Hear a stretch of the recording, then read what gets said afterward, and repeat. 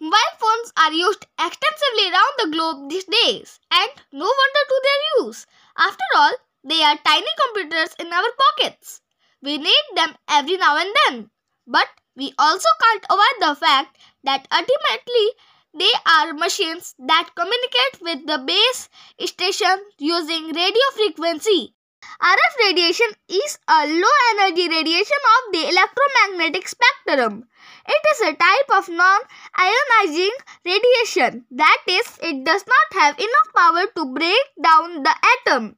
High RF has a thermal effect. That is, it increases our body temperature. Low levels of RF causes headache and other brain disorders. This thermal effect can result to burns and body tissue damage. So, now when we are aware a little about the mobile phone technology, let's also try to count some of its destructive facts. WHO World Health Organization classified RF radiation as possibly carcinogenic for humans based on an increased risk for glioma, a type of brain cancer. Moreover, studies suggest that using a mobile phone while driving greatly causes road accidents. Looking down continuously at smartphones while texting, browsing and gaming results to straining of neck muscles. This also causes nerves pain in the back, shoulders and arms. It also weakens our fingers as these are always in direct contact to the screen. Let's not forget the ears and brain. Talking on the mobile phones for long time can harm our ears, thereby causing hearing disorders. Mobiles direct in contact with ear and brain increases the temperature of our brain, which can definitely cause disorders like headache. Beware of blue light. Blue light emitted by smartphones and other screens like those of television, tablets and computers have shorter wavelength.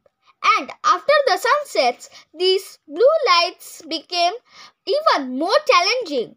Continual exposure to mobile phones at night may contribute to heart diseases, brain diseases, eyesight issues, obesity and much more.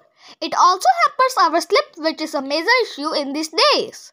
Cubital tunnel syndrome, a condition in which the nerve of the elbow gets compressed. This leads to numbness and pain in the arms, even fingers and thumbs.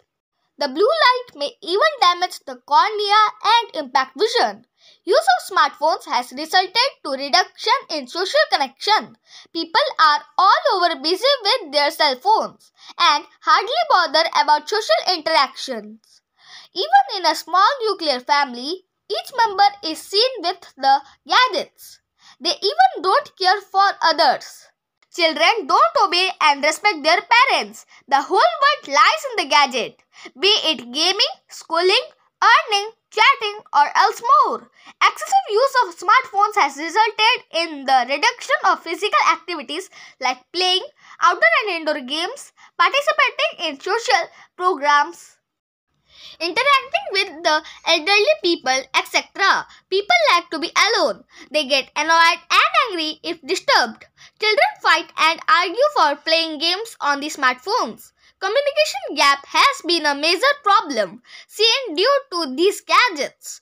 Children or even adults don't like sharing their things and problems with their family members. Everything seems hidden within the passwords, accessible to no one. Use of technology is good until it is used in a balanced way. Thank you.